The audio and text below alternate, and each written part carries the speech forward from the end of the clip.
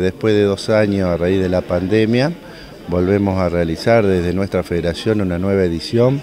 la número 22 del seminario para la nueva estrategia sindical para el año 2023 y con orgullo es la primera vez que sale a un sindicato del interior y bueno, ser sede en Soen Sunchal es una gran satisfacción. Estamos recibiendo a los compañeros de toda la provincia, 32 sindicatos, y se sumaron 3 más, 35. Y bueno, eh, hemos tenido la presencia de un sinnúmero de personalidades que han pasado en la primera y segunda jornada, todavía nos resta esta tarde y mañana el cierre. Y bueno, eh, debatiendo distintos temas del sector y también la nueva estrategia eh, para seguir durante el año que viene, que sin duda va a ser un año difícil a raíz de la situación socioeconómica y,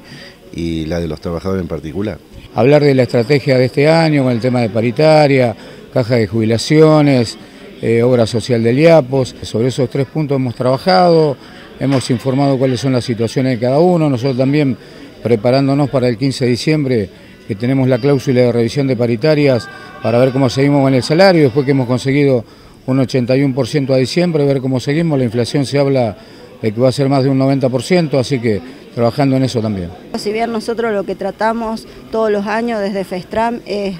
armar estrategias sindicales donde todos los compañeros de los sindicatos de base aportan sus ideas, generamos propuestas y de ahí sale la estrategia para el año que viene. La verdad que la pandemia no, no nos había permitido durante dos años hacerlo y este, este, este seminario tiene un montón de cuestiones y principalmente es el retorno a, todas las actividades que estábamos acostumbrados a hacer y en una casa de nuestros compañeros del sindicato de Sunchales, que para nosotros es un placer ver cómo este sindicato ha crecido en el último tiempo bajo la conducción de Adrián. Para nosotros tener ese tipo de dirigente nos enorgullece y tratamos de que esto se vea y se replique en todos los sindicatos de base que tenemos, así que por eso es nuestra presencia acá. Muy agradecido por, la, por estar en esta ciudad tan hermosa. La conocía, he estado en otros momentos, pero bueno, un lugar muy importante de la provincia.